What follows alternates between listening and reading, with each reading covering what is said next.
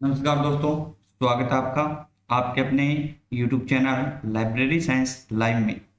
तो आज एक बार फिर से आपके लिए जो इम्पोर्टेड टेस्ट सीरीज़ है इम्पोर्टेड एमसीक्यूज सीरीज़ लेकर आए हैं, जो आपके आने वाले exams M R S librarian Rajasthan librarian और बिहार लाइब्रेरियन सहित सभी लाइब्रेरियन परीक्षाओं के लिए इम्पोर्टेड होने वाला। शुरुआत करने से पहले, यदि आप नए हैं तो हमारे चैनल को सब्सक्राइब ज़रूर कर लें, ताकि नए वीडियोज़ के नोटिफिकेशन आप तक पहुँच जाए। इसके अलावा, आपकी कोई भी जो क्वेश्चन है, क्वेरी है तो आप हमें व्हाट्सएप मैसेज कर सकते हैं, eight six one nine four six three one two eight. शुरुआत करते हैं सबसे पहले क्वेश्चन से। C D S, I S I S. Software का निर्माण किसके द्वारा किया गया था? ये आपकी क्वेश्चन क्या है? जो हाल ही में आपका टीएसएसबी का जो एग्ज़ाम हुआ था, उसमें भी क्या है भी? C D S I S S का सॉफ्टवेयर का जो क्वेश्चन है, वो पूछा गया। इसमें निर्माण पूछा गया है, किसके द्वारा निर्माण किया गया था? IFLA, UNESCO A and B दोनों या फिर एन आई सी द्वारा। तो इसमें आपका ऑप्शन बी राइट होगा। यूनेस्को द्वारा क्या है? सीडीएस और आईएसआईएस सॉफ्टवेयर का क्या किया गया था? निर्माण किया गया था। यूनेस्को आपका क्या होगी? राइट होगा। इसके निर्माण की बात करें तो 1985 उन्नीस में इसका क्या किया गया था? यूनेस्को ने इसको बनाया था, निर्माण किया था। सीडीएस आईएसआईएस की बात करें तो इसका पूरा नाम आपसे कई बार पूछा जा चुका है। सीडीएस की बात करें CDS computerization computerized documentation system CDS का क्या होगा भाई? Computerized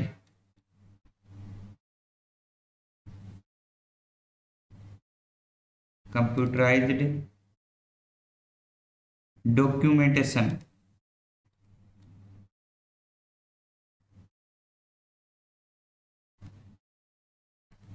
system. ये आपके सीडीएस का पूरा नाम है। और आईएसआईएस का भी कई बार जो पूरा नाम है, पूर्ण रूप है, वो पूछा जाता है। यानी सीडीएस और आईएसआईएस का जो दूसरा क्वेश्चन यहाँ पर बन रहा है, वो इसके पूरे नाम से लेकर बन रहा है, क्योंकि कई बार इसका पूर्ण रूप पूछा जा चुका है। इसका नाम होगा आपका integrated set of information system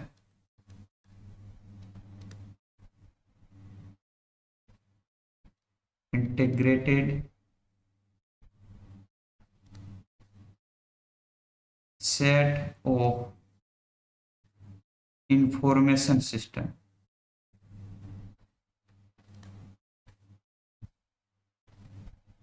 ये इसका क्या है? पूर्ण रूप है, जो कई बार पूछा यूनेस्को ने इसकी स्थापना की 1985 में। नेक्स्ट क्वेश्चन आपका सोल 2.0 का निर्माण किस वर्ष किया गया था? सोल का जो सेकंड वर्जन है उसका निर्माण पूछा गया आपसे किस वर्ष किया गया था? सन 2000, 2009, 2008 या फिर 2010 टीएसएसबी इलेवन की बात करें तो हाल ही में सोल से संबंधित आपके जो दो क्वेश्चन है वो पूछे गए थे। एक तो आपके सोल से संबंधित था और एक SOUL three point zero.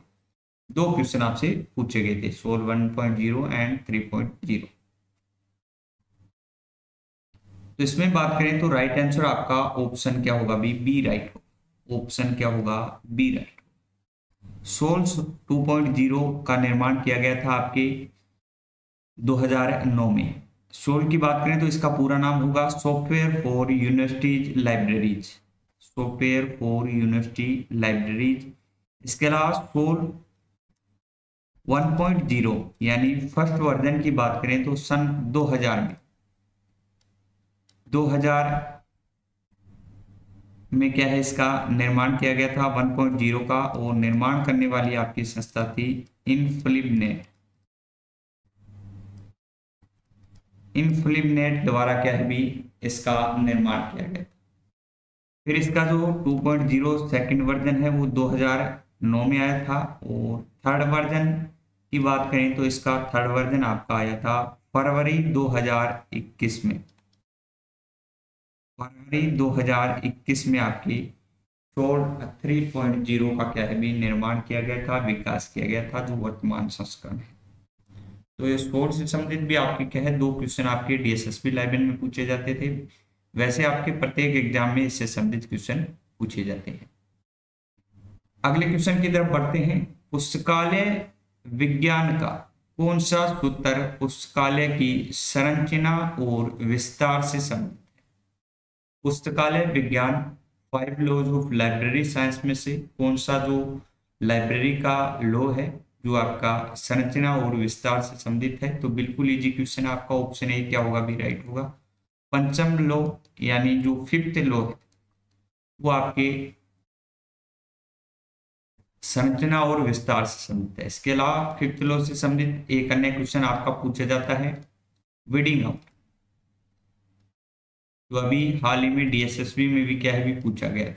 Feeding out किससे संबंधित है? तो ये भी आपका फिफ्थ लॉ है। यानी जो पुस्तकालय में अनुपयोगी पुस्तकें हैं, पुस्तकालय में जो अनुपयोगी पुस्तकें हैं, उनको बाहर करना ही आपका वीडिंग आउट कहला। आगे बढ़ते हैं, अगले क्वेश्चन की तरफ़। विश्व का पहला ओपन सोर्स पुस्तकालय सॉफ्टवेयर कौन सा है?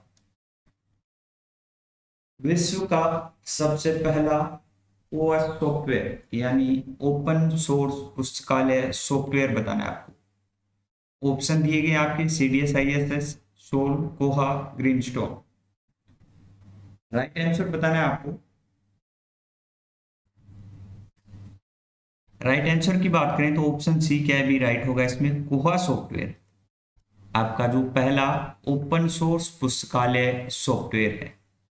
कोहा की बात करें तो सबसे पहले आपके कोहा के निर्माण की बात कर लेते हैं। निर्माण की बात करें तो इसका निर्माण सन 2000 में किया गया था और ये आपका Katipo communication Katipo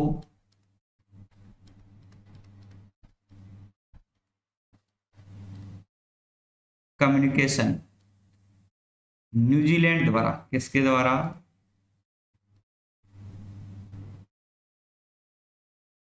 New Zealand Katipo communication जो न्यूजीलैंड है, उसके द्वारा इसका जो निर्माण है, आपके कोहा सॉफ्टवेयर का, वो किया गया था। ओपन सोर्स सॉफ्टवेयर है ये प्रथम। इसके वर्तमान संस्करण की बात करें तो इसका जो वर्तमान संस्करण है, वो लिप लाइव कोहा के नाम से जाना जाता है। ये कई बार क्वेश्चन आ चुका है आपका वर्तमान। वर्तमान एडिशन की बात करें कोहा की तो ये आपका हो गया लिप लाइन कोहा। इसके नाम से इसे क्या भी जाना जाता है? लिप लाइव कोहा। वर्तमान संस्करण की बात करें तो 21 पाँच 2022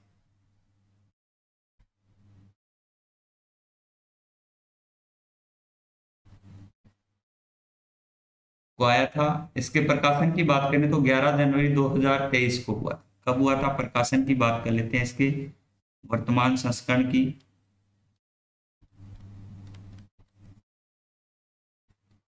ग्यारह जनवरी 2023 को क्या है भी प्रकाशन हुआ संस्करण आया था 21 पाँच 2022 को।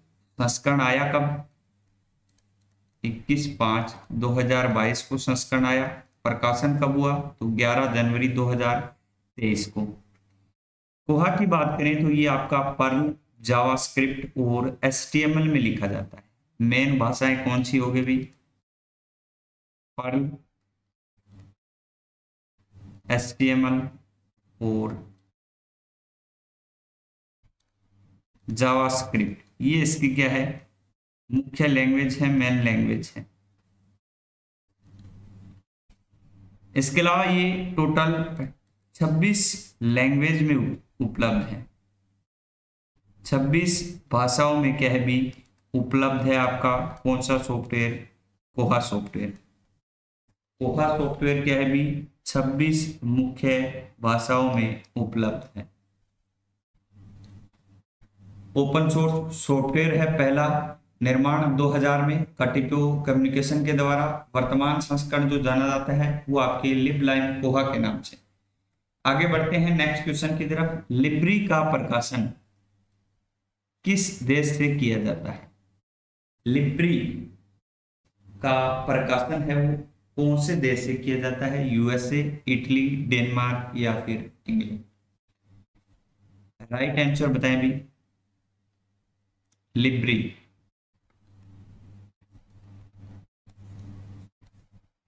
ऑप्शन सी राइट होगा इसमें। डेनमार्क के से क्या भी आपकी जो लिब्री है, उसका प्रकाशन किया जाता है। आगे बढ़ते हैं अगले क्वेश्चन की तरफ़। ट्रिपल आल पुस्तकालय प्रतिष्ठान किस अधिनियम के अंतर्गत पंजीकृत है? Raja Ram Mohan Roy library foundation. पूरा नाम क्या है भी राजा राम मोहन राय, लाइब्रेरी फाउंडेशन। इसका आपको जो कौन से अधिनियम के अधीन ये पंजीकृत है, वो अधिनियम आपको क्या भी बताना है। इससे पहले हम बात करें तो निर्माण सभी को पता है। निर्माण ट्रिपल आर का क्या हुआ था अभी? उन्नीस में। कौन से पुस्तकालयों को सहायता प्रदान करता है? तो पब्लिक लाइब्रेरीज को।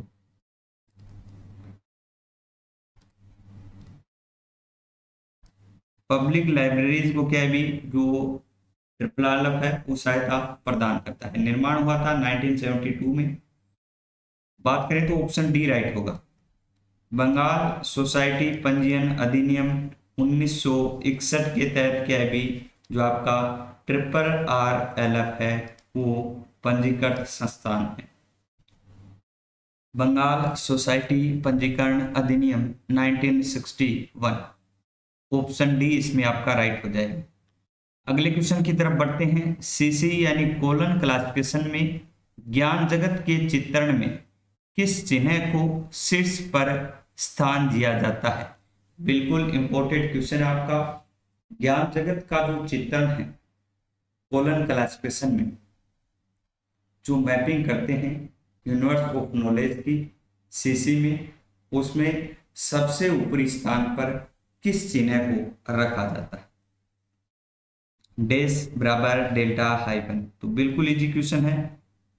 आपको इस चित्र के द्वारा स्पष्ट हो जाएगा, सबसे ऊपरी स्थान पर क्या आएगा भी सबसे ऊपरी स्थान पर।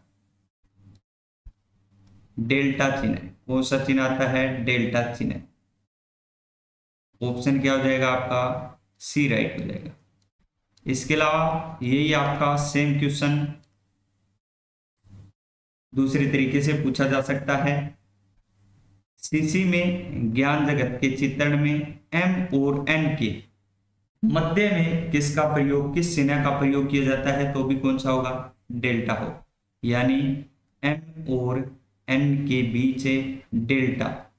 शीर्ष पर भी क्या, कौन सा होगा आपका? डेल्टा चिन्ह। अगले क्वेश्चन की तरफ़ बढ़ते हैं। Delivery of books act DBA act, में संशोधन किस वर्ष किया गया था? आपके डीएसएसपी में भी अभी डीबीए से संबंधित क्वेश्चन आया था। डीबीए एक्ट में संशोधन पूछा गया है। क्वेश्चन है। निर्माण की बात करें तो निर्माण किया गया था इसका 1954 उन्नीस और संशोधन हुआ था 1956 में। 1956 में क्या हुआ भाई? डीबी एक्ट में संशोधन हुआ और इसमें संशोधन में जो न्यूज़पेपर और पत्र पत्रिकाएँ हैं, उनको ऐड किया गया था। इस संशोधन में न्यूज़पेपर और जो पत्र पत्रिकाएँ हैं,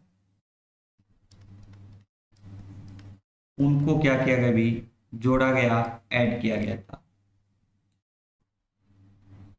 अगले क्वेश्चन की तरफ़ बढ़ते हैं। भारत में B L I S bachelor in library and information science course की शुरुआत करने वाला विश्वविद्यालय है। भारत में B L I S course शुरू करने वाला जो यूनिवर्सिटी है, विश्वविद्यालय है, वो आपको बताना है। ऑप्शन में आपकी दिल्ली यूनिवर्सिटी है, उत्कल यूनिवर्सिटी है, अलीगढ़ मुस्लिम मुस्लिम यूनिवर्सिटी है, मद्रास यूनिवर्सिटी तो राइट आंसर की बात करें तो ऑप्शन सी आपका क्या हो जाएगा? अभी राइट हो जाएगा। भारत में जो बी एल कोर्स की शुरुआत है, सबसे पहले आपकी अलीगढ़ मुस्लिम यूनिवर्सिटी द्वारा की गई थी और ये शुरुआत आपकी की गई थी 1947 1947 ईस्वी में क्या है? जो अलीगढ़ मुस्लिम यूनिवर्सिटी ने बी कोर्स भारत में क्या किया था? शुरू किया था। इसके अलावा जो मद्रास यूनिवर्सिटी है, उसके द्वारा शुरू किया गया था आपके पीजी डिप्लोमा कोर्स। कौन सा कोर्स है? पीजी डिप्लोमा कोर्स आपके पुस्तकालय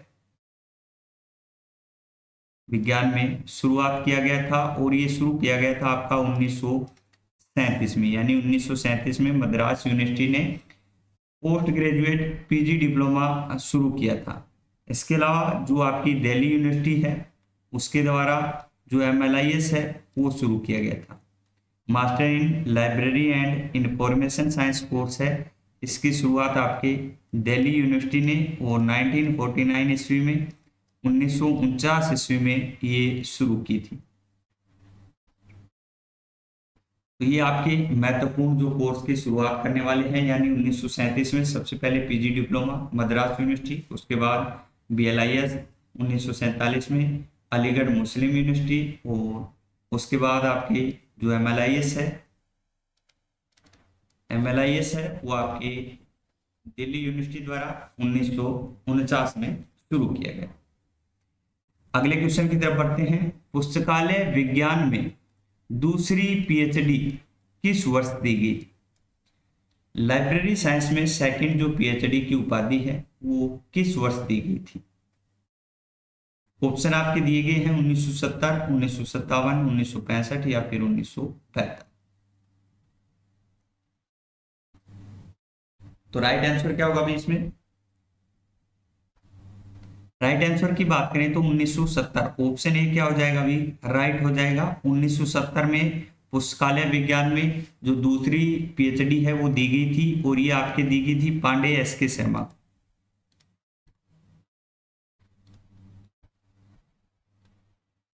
पांडे एस के शर्मा को क्या है? दूसरी पीएचडी 1970 में दी गई थी।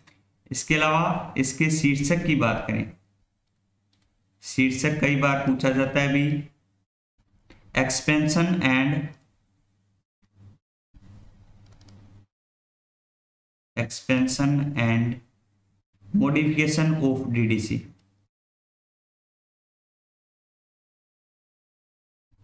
modification of DDC Indian religion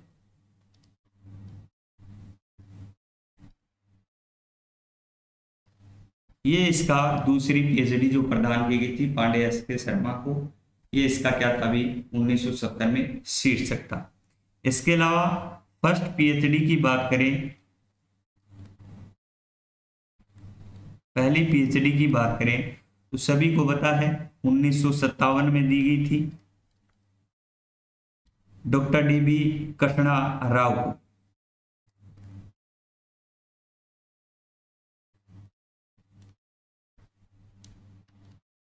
Krishna Rao को कह भी पहली जो पीएचडी की उपाधि है, वो प्रदान की गई थी। और ये जो उपाधि दी गई थी, वो आपके दिल्ली यूनिवर्सिटी द्वारा।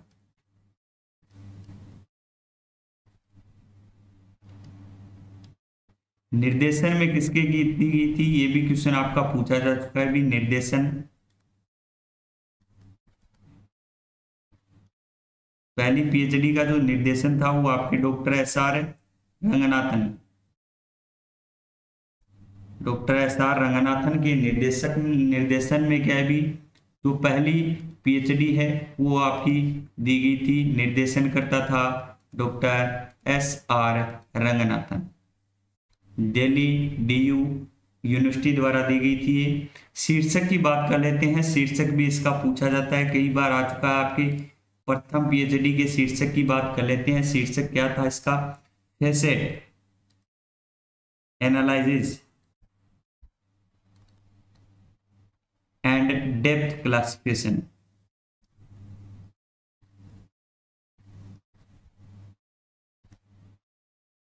facet analysis and depth classification of agriculture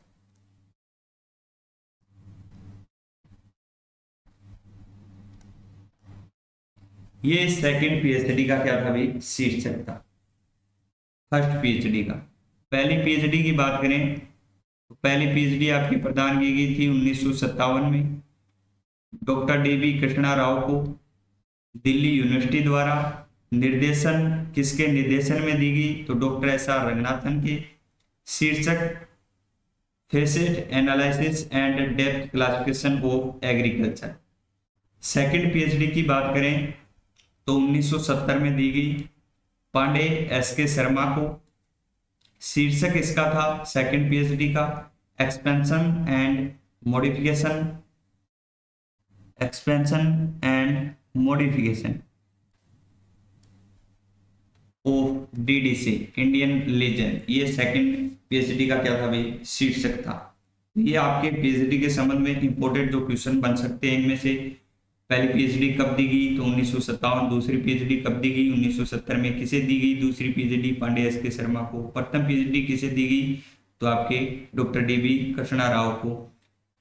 पुस्तकालय विज्ञान में पहली पीएचडी किसके निर्देशन में दी गई? तो डॉक्टर एस आर रंगनाथन के निर्देशक में। शीर्षक क्या था? पहली का, दूसरी पीएचडी का, दोनों पूछे जा सकते तो ये क्वेश्चन आपके इससे बन सकते हैं। तो ये हमारे आज के जो महत्वपूर्ण इंपोर्टेंट क्वेश्चन थे पुस्तकालय विज्ञान के। तो लाइब्रेरी साइंस लाइव जो हमारा यूट्यूब चैनल है, इसको आप सब्सक्राइब कर लें। क्योंकि लगातार इस पर जो आपको टेस्ट सीरीज़ है लाइब्रेरी की लाइब्रेरी साइंस जो क्लासेस है ऑनलाइन वो आपको बिल्कुल फ्री उपलब्ध कराई जाएगी, जो आपकी आने वाले जो आपके एग्ज़ाम है।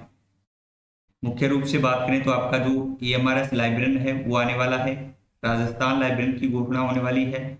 बिहार लाइब्रेरियन है। इसके अलावा भी जो K B S N S S S B का आपका हो चुका है M P P S C का आपका एग्ज़ाम है और पंजाब लाइब्रेरियन में भी वैकेंसी आने वाली है। तो इन सभी वैकेंसीज के लिए जो इम्पोर्टेंट टेस्ट सीरीज़ है, वो आपकी लगातार जो हमारे इसी चैनल पर लाइब्रेरी साइंस लाइव में आपको क्या है भी देखने को मिली, मिलेगी। तो इसको आप सब्सक्राइब ज़रूर कर लें। इसके अलावा आपका जो भी क्वेश्चन है तो आप हमें व्हाट्सएप मैसेज कर सकते हैं eight six one nine four six three one two eight पर। यदि आपको वन लाइनर क्वेश्चन की बुक चाहिए तो भी आप क्या भी इसी नंबर पर आप हमें व्हाट्सएप मैसेज कर सकते हैं। धन्यवाद।